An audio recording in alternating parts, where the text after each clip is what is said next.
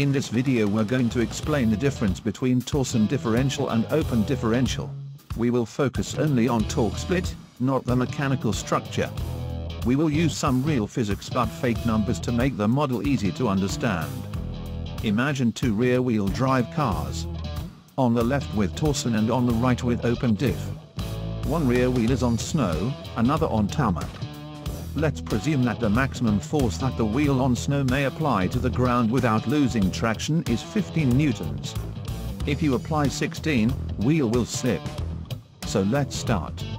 At first you are pressing accelerator pedal gently, like 20%. Engine creates 20 newton meters which go through the shaft to rear differential, and there it is divided to left and right. So far equally, 10 to the left and 10 to the right. Now you are pressing accelerator pedal harder, like 30%. Engine creates 30 newton meters which go to the back, 15 to the left and 15 to the right. Still the same torque split for Torsen and open diff because the limit value for wheel on snow is not exceeded. And now, you are pressing accelerator pedal in 40%. Engine creates 40 newton meters. Torque split of open differential is always 50-50, so it tries to send 20 to the left and 20 to the right. Maximum value that the wheel on snow may apply to the ground is exceeded, so traction is lost. As you see, you can't press accelerator pedal harder than 30% because you will lose traction.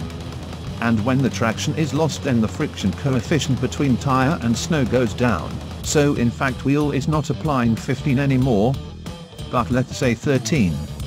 So 26 in total. Situation is different in Torsen.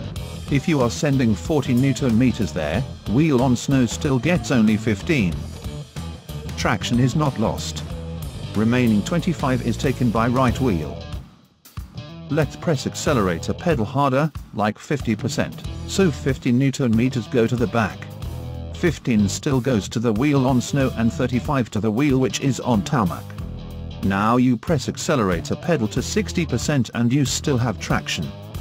15 go to the left and 45 to the right. 60 in total.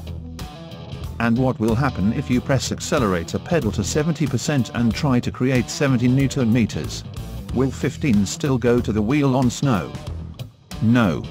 Our Torsen has 3-1 torque bias ratio. That means it can send to one wheel up to 3 times more torque than to the other wheel. So 15 to the left and 45 to the right is maximum. If total of 60 is exceeded then the traction is lost. But still slipping wheel is applying 13. So the other wheel is applying 3 times 13, that is 39. That gives 52 in total. Let's compare maximum values before loss of traction.